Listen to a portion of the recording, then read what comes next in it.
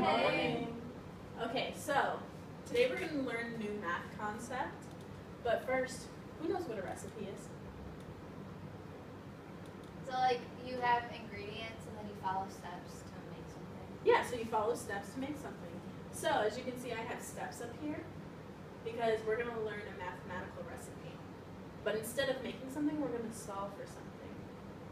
So first, step one, rewrite the equation.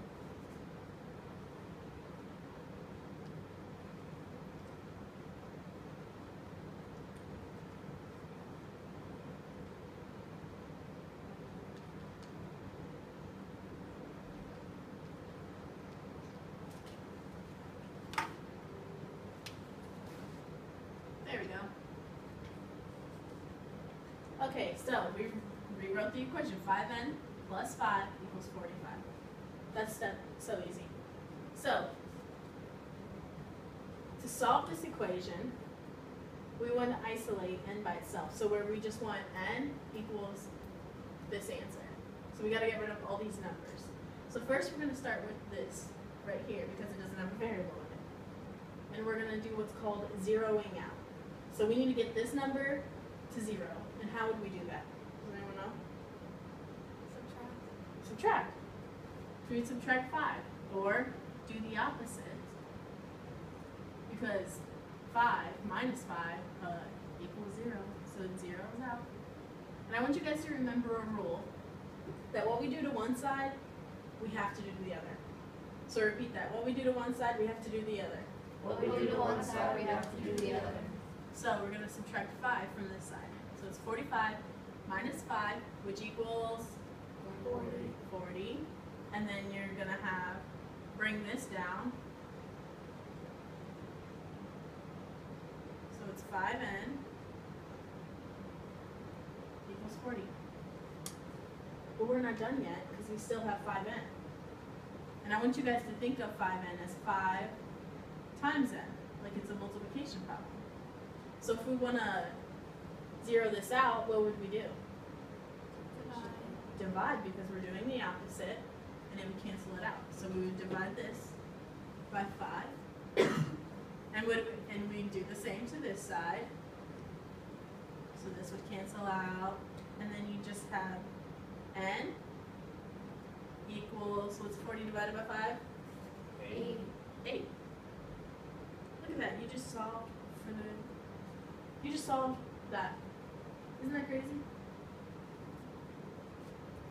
So we just did step three by doing multiply, zeroing out by doing the opposite, and you do multiply or divide. And then step four is check through substitution, because you want to make sure that your answer is right. Like, do we really know that n equals 8? So then you do 5 times 8,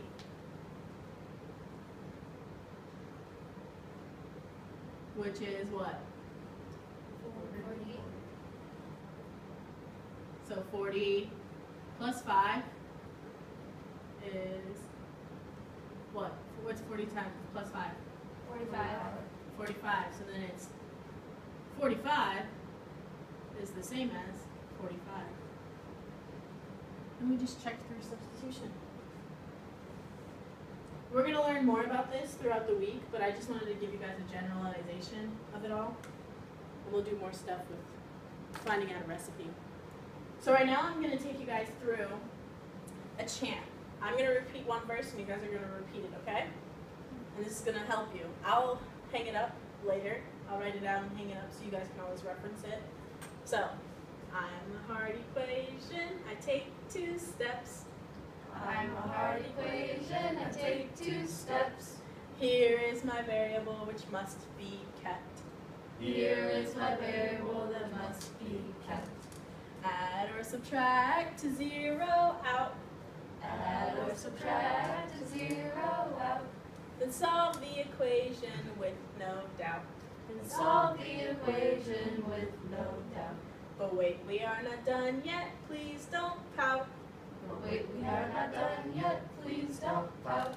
Multiply and divide to figure things out. Multiply, and divide to figure things out.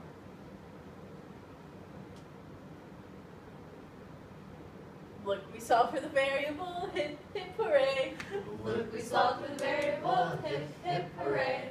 Now check your solution and give a loud yay. Check your solution and give a loud yay.